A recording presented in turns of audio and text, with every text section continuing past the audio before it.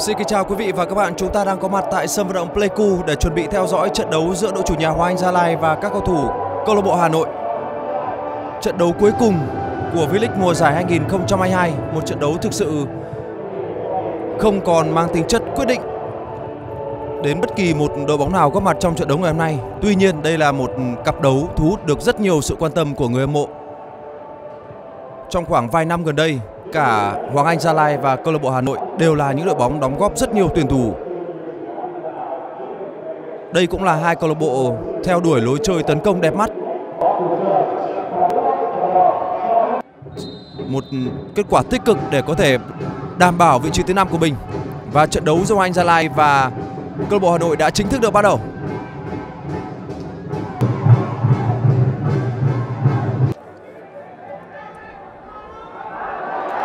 Cơ hội dành cho Hoàng Anh Gia Lai. Tốc độ của Văn Toàn. Rất đồng đội. Tuy nhiên tiếng còi đã cất lên. Có vẻ như đó là lỗi việt vị của Văn Toàn.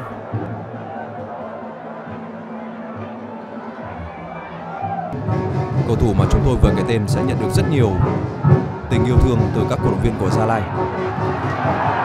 Rất nguy hiểm. Một tình huống phối hợp giữa Văn Toàn và Washington Brandao bộ đôi đã thi đấu cực kỳ thăng hoa ở mùa giải 2021. Rất đông các cổ động viên của Anh Gia Lai đã đến sân để cổ vũ cho thầy trò huấn luyện viên Ketisak ở trận đấu cuối cùng của mùa giải. Một pha dướn người vào trích mũi chân của Washington Brandao nhưng bóng đã đi chết cột dọc.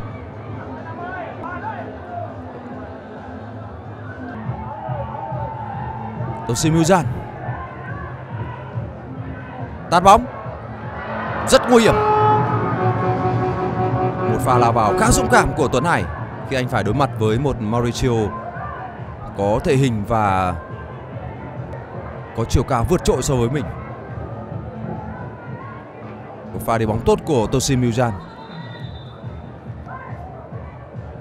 Hùng Dũng, Văn Hậu, Duy Mạnh, Thành Trung và Bùi Hoàng Việt Anh.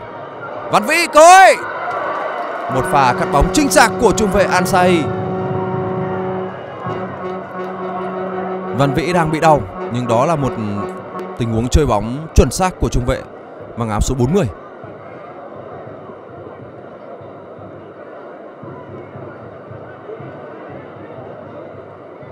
Trọng tài chỉ cho đội khách được hưởng một quả đá phạt góc mà thôi. Chúng ta một lần nữa xem lại pha bóng của cầu thủ Anh Gia Lai. Nhìn vào tình huống quay chậm, chúng ta có thể thấy bóng đã rời chân của Văn Vĩ và sau đó trung vệ Ansahi mới xoạc bóng. Nguy hiểm, lú sao, dứt điểm. Bóng rơi sang ngang. Vẫn còn. Vẫn là lú sao. Ba tình huống dứt điểm liên tiếp của cầu thủ mạng số 7. Lần này thì Sang Ngang đã đứng về phía ông anh Gia Lai. Chúng ta cùng xem lại tình huống này. Và trượt chân của Văn Sơn những nhịp nhứ liên tục của Lusao đã đánh bại tất cả các cầu thủ Anh Gia Lai. Nhưng Sa Ngang đã từ chối bàn thắng của Lusao. Nhưng cuối cùng thì Hà Nội đã có bàn thắng vượt lên sân trước. Trong tình huống mà chúng ta đang xem lại pha quật chậm từ tình huống dứt điểm của Lusao thì đội khách đã có bàn thắng mở tỷ số trong chuyến làm khách châu Anh Gia Lai. Chúng ta cùng xem lại tình huống này. Người ghi bàn đó là Tuấn Hải Bàn thắng thứ 10 của Tuấn Hải ở mùa giải năm nay. Rất tuyệt vời. Văn Thành cũng đã không thể phán đoán được điểm rơi.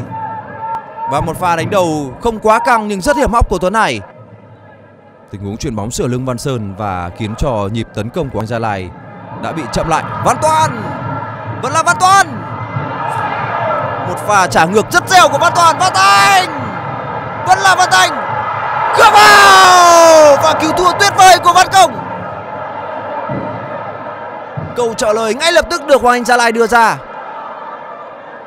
Minh Vương.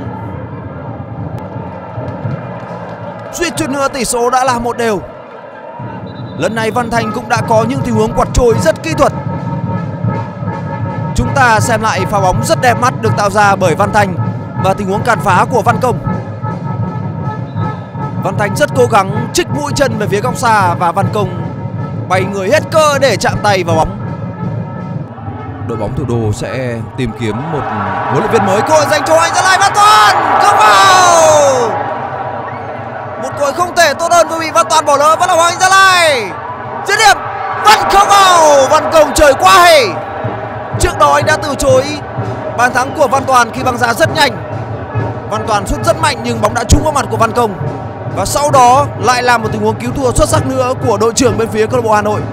Chúng ta cùng xem lại những cội liên tiếp được tạo ra, nhưng trước khi trước khi xem lại pha bóng này, thì trọng tài đang yêu cầu các bác sĩ vào chăm sóc cho Văn Công. Đây là pha bóng rất mạnh vào mặt của Văn Công. Văn Công đã rất cố gắng để có thể tiếp tục đứng dậy thi đấu và có một pha cứu thua xuất sắc. Văn Thành, vẫn là Văn Thành. Văn Thành một pha chặt bóng khá mềm của Văn Thành nhưng bóng không thể đến được vị trí của Washington Brandao. Người phá bóng là Tuấn Sinh. Vào lúc này, Bình Định và Thành phố Hồ Chí Minh vẫn hòa nhau với tỷ số không đều. Hồng Lĩnh Hà Tĩnh đã vươn lên dẫn trước. Đông Á Thanh Hóa với tỷ số 2-1 Chúng ta vừa xem lại pha thoát đi và chuyền bóng rất mềm mại của Văn Thành Cần phải nhớ rằng Hà Nội là đội bóng chơi phản công rất sắc. Văn Thành Rất nguy hiểm.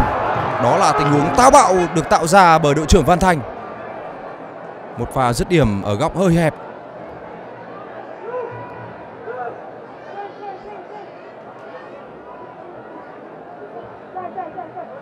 Văn Thành đã tạo ra được một tình huống. Washington Randall đường chuyền cơi chậm một nhịp tôi là cội đã trôi qua trước mũi giày của An Toàn lại là Bùi Hoàng Việt Anh. Một pha bóng diễn ra ở tốc độ rất cao, nhưng Văn Toàn thì vẫn chưa thể ghi bàn. Chúng ta cùng xem lại tình huống này. Không có lỗi việt vị của Văn Toàn. Văn Toàn đi thêm một nhịp nữa thì có thể loại bỏ được Bùi Hoàng Việt Anh. Đường truyền chọc khe rất tốt của Washington Brandao ngay sau khi vào sân thì Bùi Hoàng Việt Anh đã chứng tỏ được giá trị và đẳng cấp của mình với những tình huống cắt bóng và cứu thua rất chính xác. Trọng tài xác định bóng không chạm tay. Màn so tài ở vòng đấu thứ 26 này. Văn Toàn! Vẫn là Văn Toàn! Ôi, Bình Vương không vào! Bóng lại đi vào sang ngang. Văn Hoàn Văn Toàn đã khiến cho bốn cầu thủ Hà Nội hút vào phía của mình và anh đã không đường giao bóng cho Minh Vương. Chúng ta cùng xem lại thiếu này, bốn cái bóng áo tím vây quanh Văn Toàn và khoảng trống rất lớn dành cho Minh Vương. Cú dứt điểm của Minh Vương lại đưa bóng lên trời. Nguy hiểm. Bóng sượt đầu của một cái bóng áo vàng có lẽ là trung vệ Ansehi. Minh Vương có phạt đền không? Phạt đền dành cho đội chủ nhà. Tình huống va chạm trong cuộc 16 m 50 Ansehi đã đem về một quả đá phát đền cho anh Gia Lai. Sau khoảng một giây lưỡng lự thì trọng tài Đỗ Thành Đệ đã chỉ tay vào chấm phạt đền.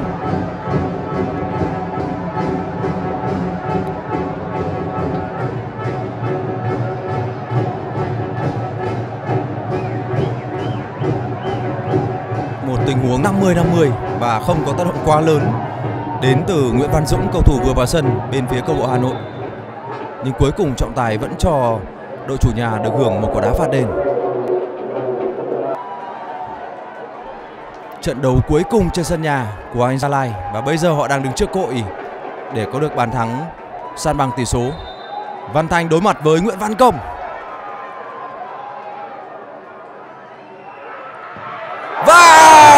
rất chính xác ở cự ly 11 m thì Văn Thành đã đánh lừa được thủ môn Văn Công để san bằng tỷ số 1 đều cho anh Gia Lai.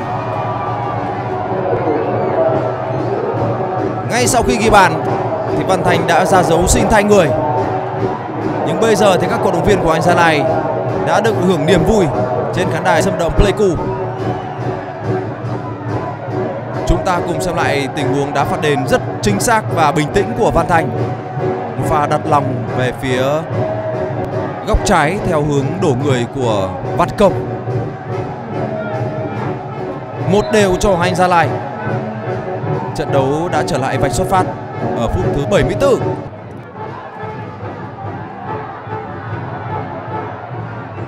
Thanh nhân là cầu thủ sinh năm 2000. Cơ hội Văn Toàn! Không vào! Một cự ly như thế này và góc sút rất rộng nhưng Văn Toàn lại dứt điểm, đưa bóng đi chết cột dọc.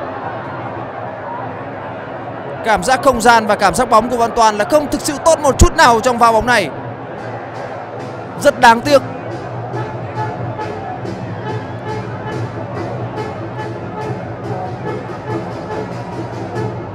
Không thể tin nổi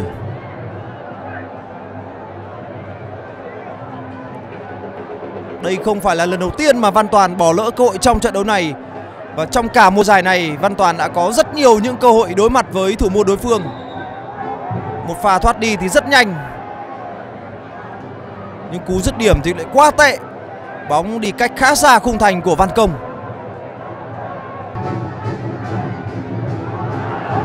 Dứt điểm. Quá nhẹ. Cú ra chân của Tuấn Anh. Không phải là tình huống phối hợp một chạm Nguyễn Phong Hồng Duy Không vào. Và chọn vị trí rất tốt của Văn Công. Anh đã làm chủ được tình hình và bắt gọn trái bóng của Nguyễn Phong, Hồng Duy. Và phối hợp giữa Văn Toàn và Tuấn Anh. Đánh đầu Không vào. Bóng sượt đầu của Minh Vương.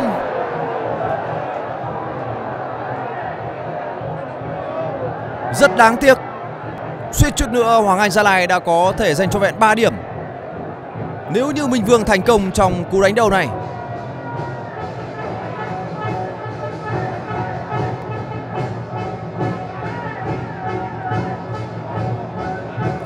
Phút bù giờ cuối cùng của trận đấu.